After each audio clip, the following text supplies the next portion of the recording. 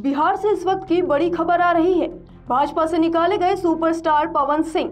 जी हाँ काराकाट से चुनाव लड़ने के कारण पवन सिंह को भाजपा से निष्कासित कर दिया गया है। आपको बता दें, एनडीए के उपेंद्र कुशवाहा के खिलाफ चुनावी मैदान में है पवन सिंह।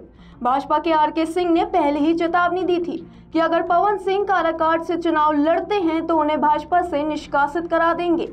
बिहार से इस वक्त की बड़ी खबर आ रही है। भाजपा से निकाले गए सुपरस्टार पवन सिंह। जी हाँ, काराकाट से चुनाव लड़ने के कारण पवन सिंह को भाजपा से निष्कासित कर दिया गया है। आपको बता दें, एनडीए के उपेंद्र कुशवाहा के खिलाफ चुनावी मैदान में है पवन सिंह। भाजपा के आर के सिंह ने पहले ही चेतावनी दी थी कि अगर पवन सिंह काराकाट से चुनाव लड़ते हैं तो उन्हें भाजपा से निष्कासित करा देंगे।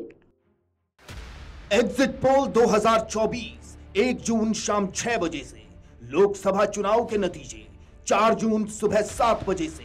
देखिए, चुनाव नतीजों से जुड़ी हर खबर सबसे पहले, सबसे सटीक, केवल अमर उजाला पर, अमर उजाला डॉट कॉम।